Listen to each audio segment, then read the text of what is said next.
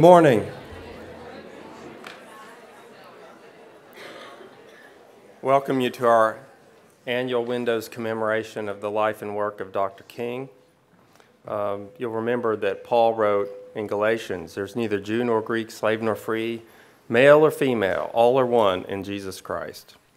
And what Dr. King understood, basically what Paul said, is that there's something about the gospel uh, within which breaking down dividing walls that separate individuals and groups that that's a fundamental part of what it is to be a Christian, a Christian and to apply the gospel to our world. And Dr. King, of course, very much understood that. As we try to apply these lessons to our life, we're grateful to have with us today Dr. Clarence Lusane uh, to share with us a presentation. I'm going to tell you a little bit about him before he comes up to talk to you.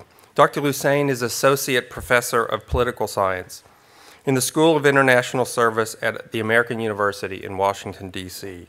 He teaches and researches international human rights, comparative race relations, social movements, and electoral politics. He's best described, I'd say, if you sort of look at his profile, uh, not merely as a speaker and author, but as an activist, a scholar, a lecturer, and a journalist. For more than 30 years, although you don't look like it, uh, he's written about and been active in national and international anti racism, politics, globalization, U.S. foreign policy, human rights, and social issues such as education and drug policy. Dr. Lusane has been a political and technical consultant uh, with the World Council of Churches, the Congressional Black Caucus Foundation, and to a number of elected officials and nonprofit organizations. He's a frequent guest on C SPAN, on PBS, on BET, and other national and international news and television radio programs. He's written eight books, most recently, the very interesting uh, title the Black History of the White House. In addition to his books, he's written many articles, including his 1983 article, Israeli Arms to Central America, which won the prestigious Project Censored Investigative Reporting Award as the most censored article of the year. We're grateful that he can be with us to commemorate the work of Dr. King in a presentation entitled King, Obama, and the Arc of Justice. Let's welcome Dr. Lusane. you have something first? Ah, and before that, we have one announcement.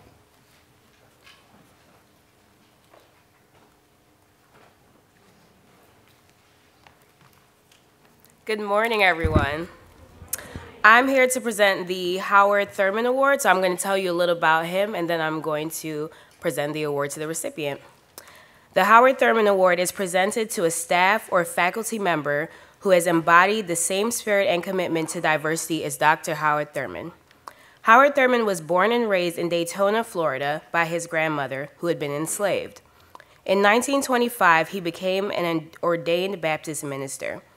His first pastorate in Mount Zion Baptist Church in Ohio was followed by a joint appointment as professor of religion and director of religious life at Morehouse and Spelman Colleges in Georgia. Thurman spent the spring semester of 1929 studying in Haverford College with Rufus Jones, a Quaker mystic and leader of the Pacifist Interracial Fellowship of Reconciliation. Here he began his journey towards a philosophy that stressed an activism rooted in faith, guided by spirit, and maintained in peace. Thurman was selected as the first dean of Rankin Chapel at Howard University in the District of Columbia in 1932. He served there from 1932 to 1944. He also served on the faculty of Howard University of School of Divinity. Thurman traveled broadly, heading Christian missions and meeting with world figures such as Gandhi. In 1944, Thurman left his tenured position at Howard to help the Fellowship of Reconciliation establish the Church for the Fellowship of All Peoples in San Francisco, California. It was the first racially integrated intercultural church in the United States. He served as co pastor with a white minister, Dr. Alfred Fisk. Dr. Thurman was then invited to Boston University in 1958, where he became the first black dean of Marsh Chapel.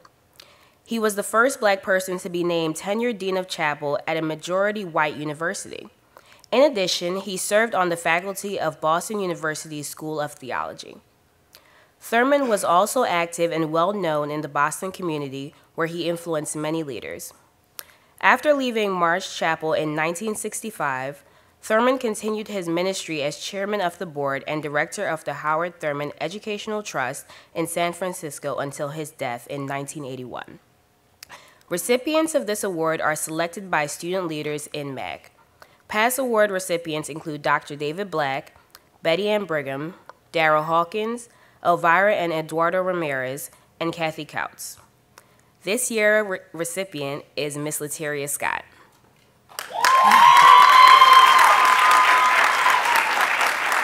Come on down.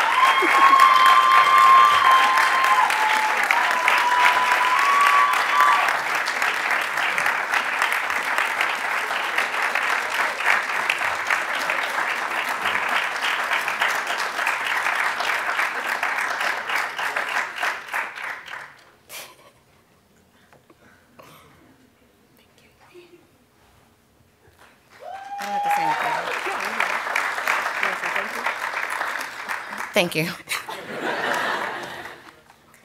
I don't know what to say. Thank you.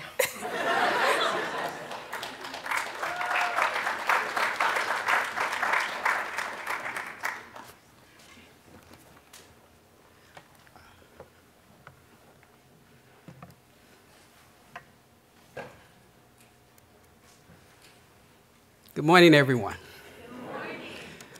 First, let me give my thanks to uh, Eastern University for inviting me. Uh, I'd love to travel around the country and talk to uh, people and have exchanges of ideas, exchanges of information. So it really is a pleasure to be here. Uh, the Provost office has been absolutely great uh, in organizing this, and particularly I want to thank uh, Ms. Nancy Hartsock. Uh, she was on email to me every day, making sure that every detail of the logistics, every detail of the program uh, was really clear and was really laid out well. So, so thank you very much, uh, Ms. Hartsock. And, and, thank you for that introduction. Uh, I have to tell you, uh, once I was in Alabama giving a talk, and I was sitting next to my grandmother, and someone was giving this long, long, long introduction. And I was sitting there feeling all proud. And my grandmother turns to me and says, Sounds like you can't keep a job. So she wasn't all that impressed. She was like, You probably need to focus a little more. You know, don't try to do too much. Uh, I'm really grateful that you guys do this program. Uh, as Nancy was telling me, uh, you do it every year. And it's really important uh, to frame King not only by what he did domestically. I think that both Martin Luther King and Barack Obama really do, in the words of Langston Hughes, want to be seen as Americans, want to see the country move forward. But both King and, and uh, President Obama also saw themselves as part of the global community. One of King's most important speech, which is generally known as the World House speech, he states, however deeply American Negroes are caught in the struggle to be at last at home in our homeland of the United States, we cannot ignore the larger world house in which we are also dwellers. So I think it's really important for scholars of Martin Luther King to not only see his uh, global, his local dimensions, but also his uh, global dimensions. One of the books I'm working on right now is to look at the 2008 Obama campaign and subsequent elections impact on global discourses around race. Because all around the world, people were responding to uh, the possibility of an African American becoming president of the United States, from the Czech Republic to, to, um, to Japan to Botswana to the UK, all over the world, uh, people were responding. And there hasn't been as much written about that as, as it should be, uh, so that's one of the works that I'm doing. Uh, there are going to be three points of discussion that I'm going to go through, uh, hopefully briefly, uh, in this presentation. One, looking at the legacies of King and Obama. How should we think about these individuals as we project, uh, particularly with President Obama in the future? Secondly, what should be the relationship between the progressive movement and the president? Right? What kind of uh, symmetry, what kind of uh, synchronization uh, should happen as possible? And then talk a little bit about the unfinished agenda, not only of Martin Luther King, but the unfinished agenda of President Obama. Let me begin by telling you some history you may not know. In 1968, Reverend Dr. Martin Luther King was elected President of the United States. Now, this is according to a film that the Discovery Channel did in 1997. They had a series that was called What If? And they imagined all of these different possibilities of how history may have changed. And one of the series, uh, one of the films was of What If Martin Luther King had not been assassinated. And as they tell the story, King was not assassinated uh, in April 1968. He survived. Robert Kennedy was assassinated. The Democrats and the progressive movement needed a candidate. King stepped forward and he was elected president. The King administration pushed through a radical agenda focused on the things that King talked about creating more jobs for people, addressing issues of discrimination and racism, more educational opportunities for people, and anti poverty. King ended the war in Vietnam, which was, of course, the big challenge for the country uh, in that period. Uh, he even recruited black astronauts. And the country had changed so much, this is according to this film, that Barbie even began to have black friends.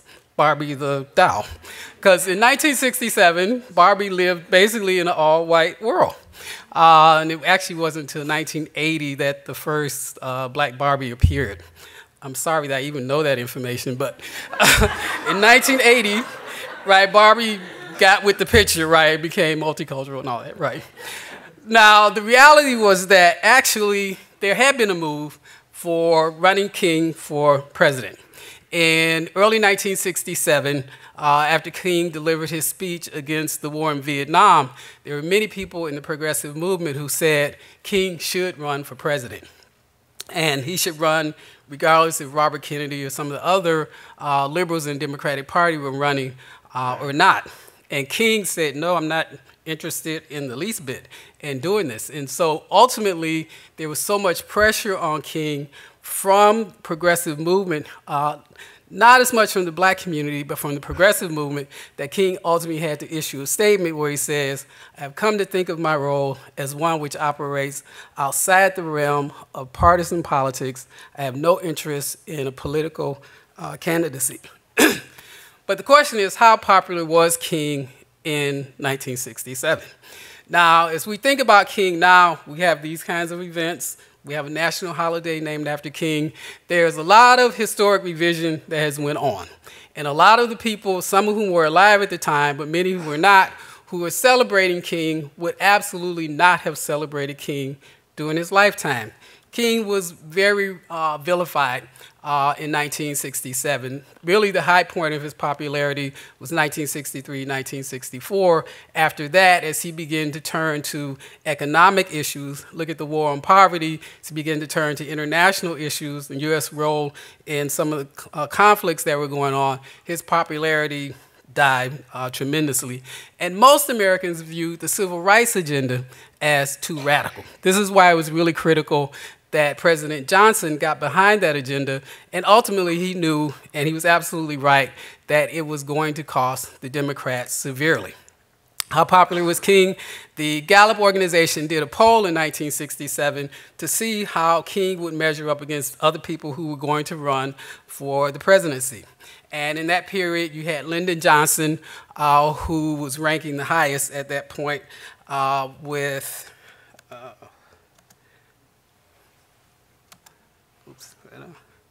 with 34% uh, uh, rating.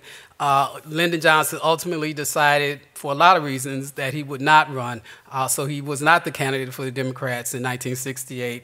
Uh, Mitt Romney's father, George Romney, uh, was actually the leading Republican candidate in 1967. Ultimately, he lost to Richard Nixon, who would actually go on and win, and then uh, George Wallace, who ran on the states' rights uh, platform, which was to completely against the civil rights agenda, actually was polling at 11%. Martin Luther King, 2% right? People did not want Martin Luther King to run for office. They certainly were not supporting him uh, in this period. So it's really important to have a historic sense of where King was at as the civil rights movement was unfolding, and he continued to try to step forward to meet uh, the challenges. But King, of course, had his revenge.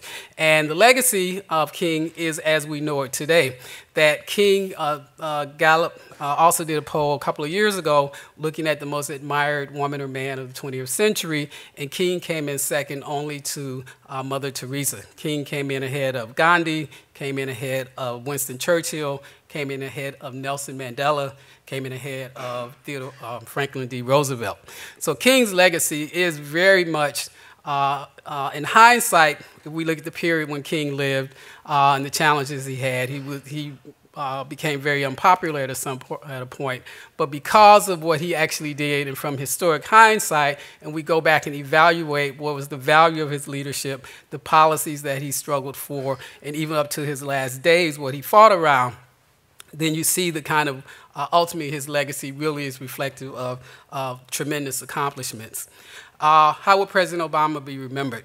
Now, there's been a debate recently about whether Obama should be on Mount Rushmore.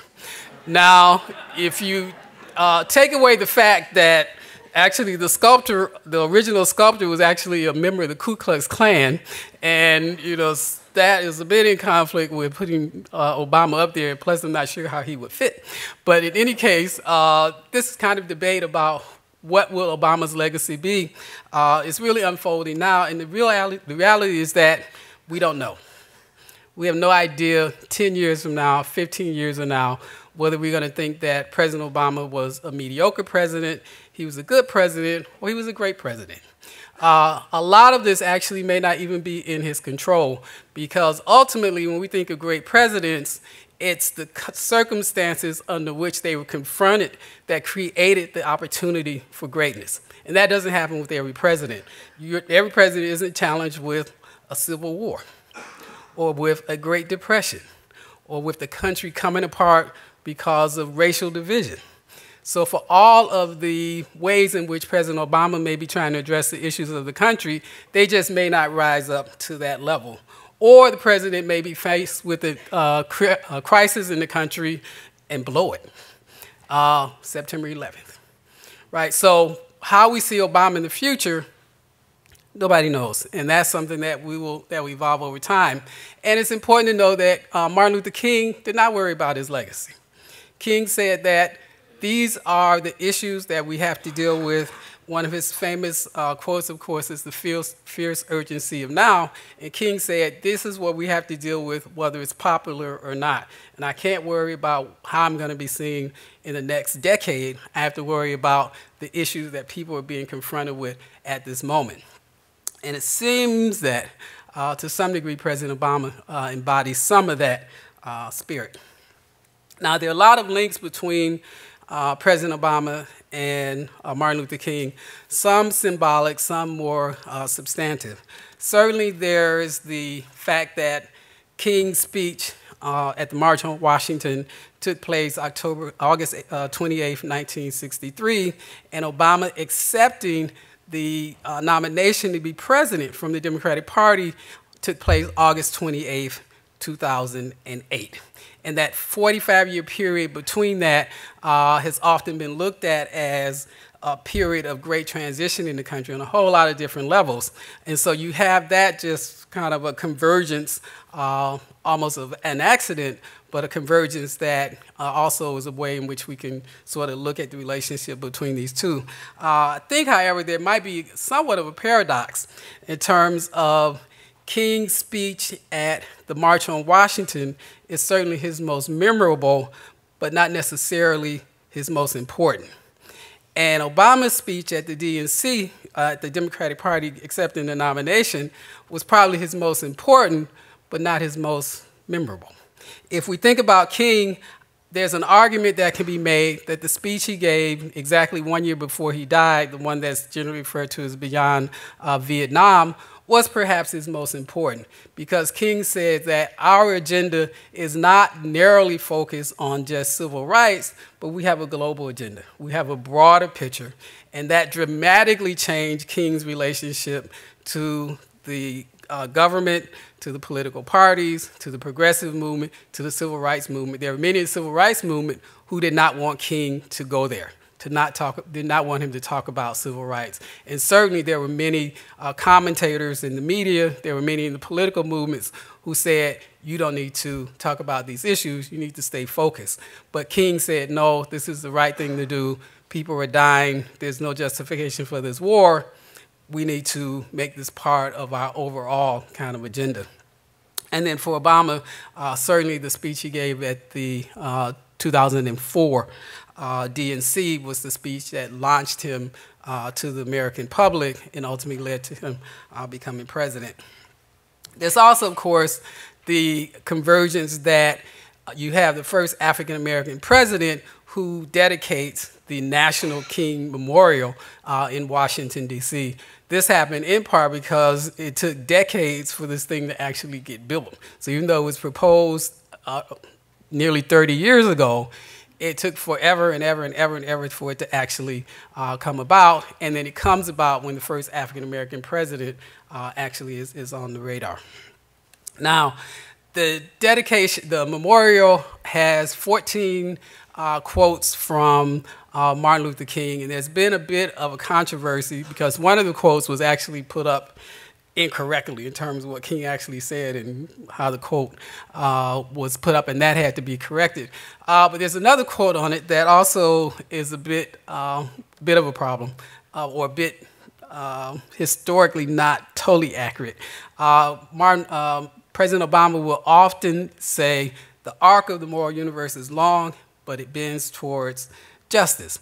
And he likes this quote so much that in the rug that's in President Obama's office, uh, he had a new rug put in, and along the edge of the rug, there are quotes. There are quotes from Thomas Jefferson, from John F. Kennedy, from Franklin Roosevelt, from Abraham Lincoln. The only non-quote from the only quote from a non-president uh, is this quote: "The arc of the moral universe is long, but it bends towards justice," which he attributes to Martin Luther King. Well, as it turns out, the quote, the quote actually was originally from uh, Reverend Theodore Parker, who was a radical abolitionist in the 1820s, 30s, and 40s and 50s, uh, who at one point in 1853 said, I do not pretend to understand the moral universe. The arc is a long one, but from where I see, I am sure it bends towards justice. Now, King did actually did, King did not steal this quote. Uh, he often said, which is missing often in people's references, uh, that the quote did come from Reverend Parker. So he does attribute the, the history of the quote uh, appropriately, but as sometimes happens, uh, lost in kind of the muddle uh, the attribution to it often is given to King, and even President Obama uh, and the rug on his office floor uh, have gotten that little problem wrong. Now, Reverend Parker actually was a very uh, interesting and uh, radical character. He actually died in, before Lincoln became president, right before Lincoln became president, so we don't know his thoughts on Lincoln. But he gave many speeches. He was really a popular orator. Uh, president Obama is actually not the, wrong, the first person to, uh, the first president to get his words uh, and not give him attribute. Uh, actually, Lincoln did the same thing. We all know Lincoln's famous closing at the Gettysburg Address in 1863. It's the 150 year anniversary here this, this year. Uh, government of the people, by the people, and for the people. In 1850, Parker gave a talk and he said, A democracy, that is a government of all the people, by all the people, for all the people. So it's important that we do our historic research. Uh, certainly, if Lincoln and President Obama can't get it right, sometimes the rest of us can't either. But it's really important that we attribute uh, as much as we understand and can follow uh, where these really uh, important uh, ideas come from. Now, again, the ideas themselves are important, and so that's really what's uh, critical here. Now, there are a lot of similarities between uh, King and Obama. Uh, both are brilliant orators. Uh, King, uh, as we know, speech after speech after speech, uh, mobilized millions of people around the country, and indeed millions of people around the world. I taught a class many years ago and I often would have, it was a class on cross-cultural communication, and I would often have students uh, talk about how they were influenced by certain forms of communication. And at one point I had a student stand up who was from Taiwan, And he got up and he started talking, and he says, Well, you know, I was really influenced, uh, but by Dr. King, but before I tell you that, let me tell you what happened. And he starts talking about how at one point he was pressed into the military. He had no choice, he had to serve. And they put him in the part of the military that carried out executions. So he starts telling this story. The room gets really quiet chairs start backing up, right? Because people are like, where's he going with this, right? And so he's telling this story how horrible it was. He had no choice. He was the person that gave the final command for someone to be executed. Really traumatized him, he said. And he, you know, served out his term, uh, but he was really kind of very damaged by this. But at one point, he found some speeches of Martin Luther King. And he read these speeches. He read King's talking about forgiveness, King's talking about peace. And he said it really helped him get through. He decided what he was going to do. There were, I think, about 20 people or so that he oversaw their executions, tracked down the families of each of those individuals, and went and personally apologized. Right? But this was because he read Martin Luther King. So King's words really, truly have had an impact uh, globally. Uh, and, in, and to a great degree, uh, President Obama. Certainly, we remember when he ran in 2008, the speeches he gave around the world, particularly in Germany, where over 200,000 people came out. Right? This was the largest crowd in Germany to come out for a speech since the days of Hitler. Right? So, Obama's impact, which is basically at that point were his words, really show that you know they're the power of oratory and that in that sense these two are very much alike. Um, president obama as well as dr king also project uh, empathy. Much of i think what happened in 2012 in the presidential election was not because president obama's policies were uh, seen by many people as working. People were hoping they would work, and there was a sense that maybe they are going to start work. But it really boiled down to, and the polls show this, that people felt President Obama felt their issues more than the other side. And that really is a powerful kind of way that, and you really can't fake that. Either you have it, either you exhibit it, or you really kind of don't. You can try to fake it, but that doesn't really kind of fly. Uh, they also both studied uh, intellects. He really is Dr. Martin Luther King. He, can, he worked uh, on a dissertation, his dissertation in theology, uh, and really wrote his own material uh, to a great degree. So when he published books, these were books that weren't ghostwritten. These were books where King had to find the time, sit down, and just really kind of hammer them out. And he didn't have a computer. He didn't have access to Google. You know, he really had to do the kind of you know hard writing that people did uh, before these modern technologies, and so is uh, President Obama uh, in many ways. And uh, lastly, was a similarity I think that's important is that they both understand race. Neither have uh, neither ran away from the issue, but they also see beyond race. And this is often a challenge for people who support both King and both uh, President Obama to see that they're not just locked into addressing what are still ongoing, persistent uh, issues of racial discrimination, but that there's much more going on beyond that, and that all of that has to be put into the mix. Uh, but there are also some important differences. Uh, differences different constituencies.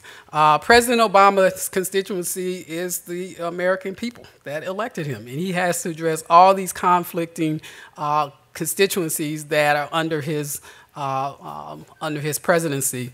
Where Martin Luther King was very clear, his constituency was to try to mobilize people who really wanted social justice. He wasn't trying to mobilize conservatives. He wasn't trying to mobilize the far right.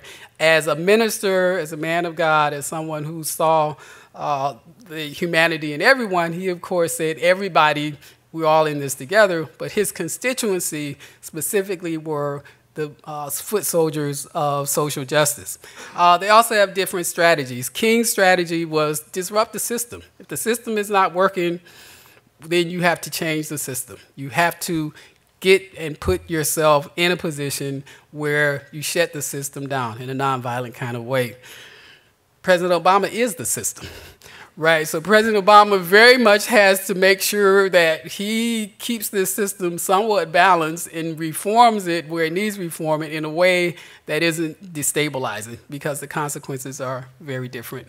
Uh, in terms of power, it's often said that the presidency of the United States is the most powerful political position in the world. And to a great degree, that's true. But there are also major constraints on the president that Martin Luther King, people in the progressive movement, other folks do not have. People who are outside of political office. Virtually every single word that comes out of President Obama's mouth has a political impact, has an economic impact, has an ideological impact, has a cultural impact. And he's absolutely aware of this. The administration is aware of this. All of his team is aware of this. So he understands there are things he can say and things he cannot say. Uh, and in fact, in the first uh, six months or so of his presidency, he found this out. Because President Obama, when he was Senator Obama actually, uh, was a very direct kind of guy. Uh, he's actually, he's very uh, down to earth kind of guy. And in more relaxed circumstances, he pretty much speaks like the rest of us, right? And so he would often just say things kind of off the cuff, which many of us would say, but doesn't have any impact. But we remember the situation in Boston, for example, when Professor Henry Louis Gates was arrested uh, trying to get into his house, and Obama sort of said, you know, that was kind of stupid. Why didn't they just let the man in his house? And it created a firestorm. And the administration was shocked. They could not believe that there was this kind of reaction but they learned their lesson. Every single thing that President Obama says has consequences. And so there are constraints on the president, and then also different times. In the 1960s, when King was around, when Barbie didn't have black friends, you know, it was a very different kind of environment to try to bring about social change. There were very few uh, black elected officials, very few progressive and liberal elected officials. The political base in the country, or strength in the country, in many ways, was in the hand of Southern Dixiecrats who headed up most of the key committees in the U.S. House and the U.S. Senate. It was a very different kind of uh, uh, deal than what we're facing right now. So this is important because the question is who sets the agenda for the progressive movement? And that agenda needs to be set by the progressive movement. Uh, there's been a lot of debate, and there were expectations that President Obama would come in, that he would uh, advocate for a broad kind of progressive agenda, fight with Congress, and things would kind of move forward. But the reality is that the President of the United States, regardless of who it is, should not be, cannot be, is not the leader of the progressive movement. That has to be organic, that has to come from below. And we can see the power of that. One of the key uh, uh, experiences that really shaped the 2012 elections was the Occupy movement. The movement that says we are the 99% the 1% is uh, destroying the country, and we have to challenge that. That did not come from President Obama, would have never come from President Obama or any other president. This is the kind of movement that has to grow up organically in order to push the country in ways in which it may not want to be pushed, but needs to go. And so that is a really kind of critical, important uh, difference. So what should be some of the elements of a progressive agenda versus the agenda that President Obama uh, has articulated. There are a number of issues that have not come up uh, or have only been given very, very brief kinds of mention by the administration, but absolutely should be central to changing the country and moving it uh, in a progressive direction. Political reform. When President Obama spoke uh, after he won the 2012 election, he mentioned briefly that he really was upset about the long lines and the problems that he saw with last year's election, uh, maybe we should do something about it. People have been, in the progressive movement, have been talking about this for years. Employment and a living wage, these are issues that should be addressed. The eradication of poverty uh, has often been noted. Very, very little has been mentioned about poverty. Uh, educational opportunities, criminal justice reform, immigration, but immigration in a particular way, and then global peace and justice. It's really critical uh, when we talk about political reform because ultimately public policy is the resolution of the tension between the progressive uh, agenda and the ideas that people want and how it actually starts to impact people's lives. And so it's really critical that the political system is one that's open, one that's fair, and one that's inclusive. And what we have as a political system right now is dysfunctional at all, virtually every single level. And this is really kind of remarkable uh, given the promotion of democracy uh, by the U.S. around the world, which it should do, but there are democratic, unresolved democratic issues here in the United States. Uh, part of what this comes out of is a long history of states' rights and giving states the kind of authority that really should be, if we have a federal system, we have a national government, really should be national, virtually like every other country in the world.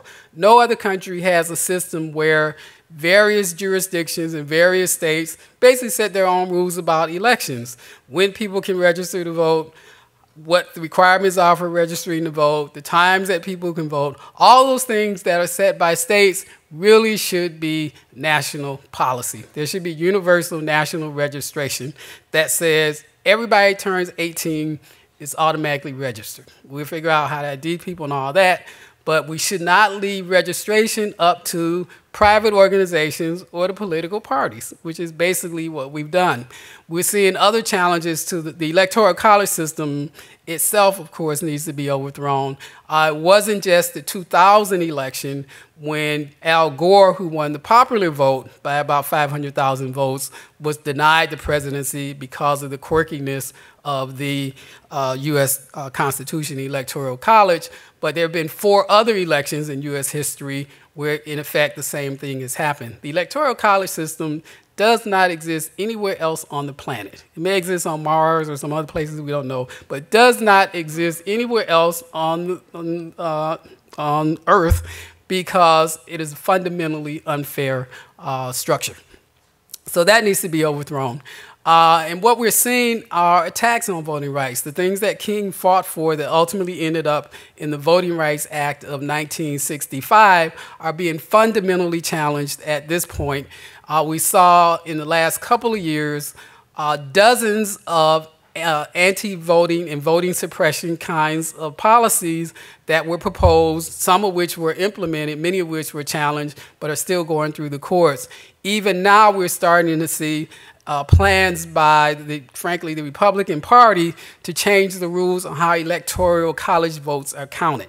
And this is because, given the 2010 census redistricting that created districts that solidify Republican domination in states like Ohio, Wisconsin, Pennsylvania, uh, Virginia, North Carolina, Florida, states where the Democrats won overwhelmingly the majority of votes in those states, but have lost the majority of congressional districts in those states. their, there are efforts to create circumstances where if the policies that are being proposed right now are put in place, in last year's election, if President Obama and Mitt Romney got the same exact amount of votes, Mitt Romney would be the president. Right? These are the kind of changes that are being proposed uh, even as we uh, sit here.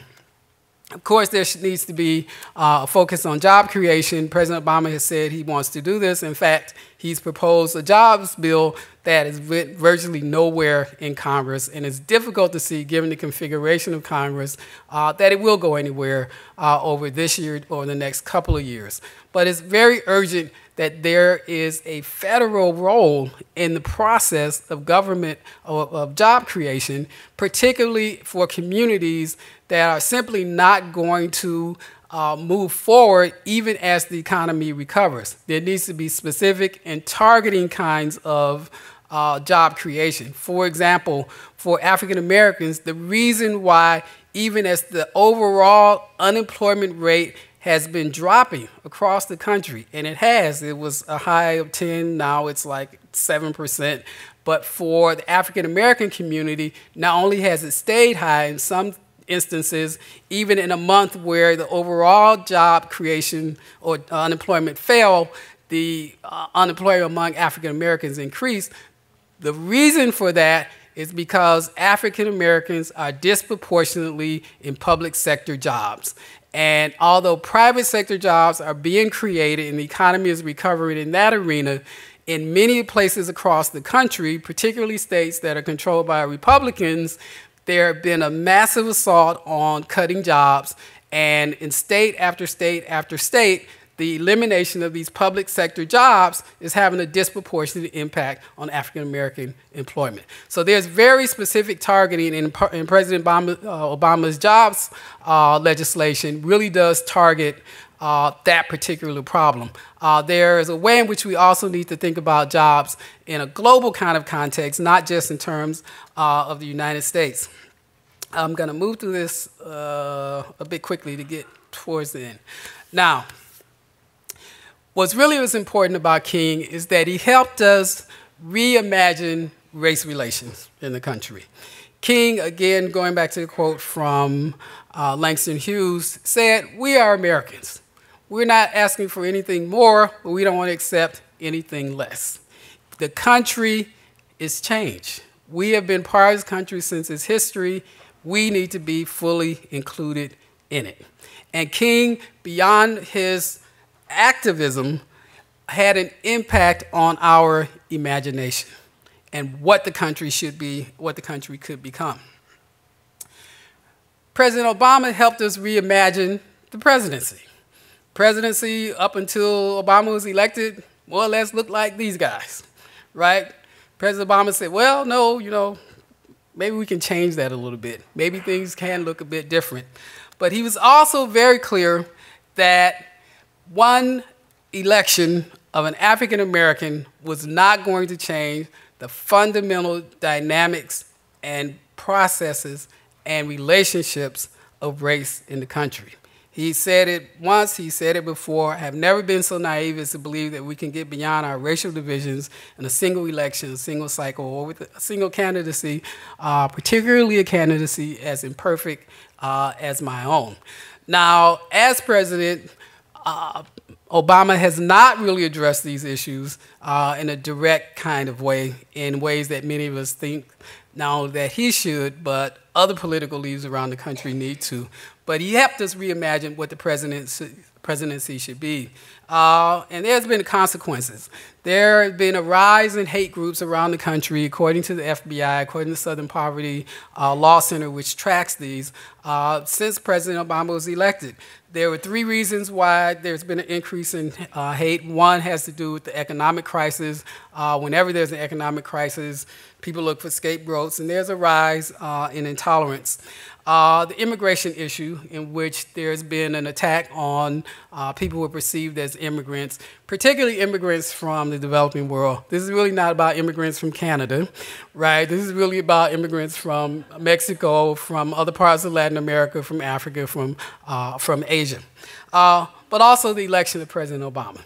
And there's a, a tremendous spike. President Obama gets about 300 death threats a day death threats that the Secret Service has to investigate. This is not just someone saying something stupid on the radio. These are serious death threats through emails, through letters, through other ways, uh, 300 a day. And I would guess, particularly since he's taking on the gun control issue, that might have tripled, right? From what we've heard in the last week or so, uh, the kinds of um, uh, really extreme um, um, messages that we've heard even through kind of mainstream media, let alone going in and digging in on some of the more extremist uh, websites and, and uh, other uh, ways. This is what Colin Powell called the dark vein of intolerance that exists uh, even in mainstream um, politics. Now, King, I think, and Obama, uh, in terms of thinking long term, uh, their legacy also can help us reimagine not just the nation, uh, but also the world. And King said again in his speech, the World House, the time has come for all out world war against poverty. He saw as fundamental to bringing social justice, equality, and inclusion was addressing, and this is back in 1967. Uh, King wrote, We have to address the global issues around world poverty. So let me end it there. Thank you so much for having me. Uh, and I think we have time for a few minutes for a few questions.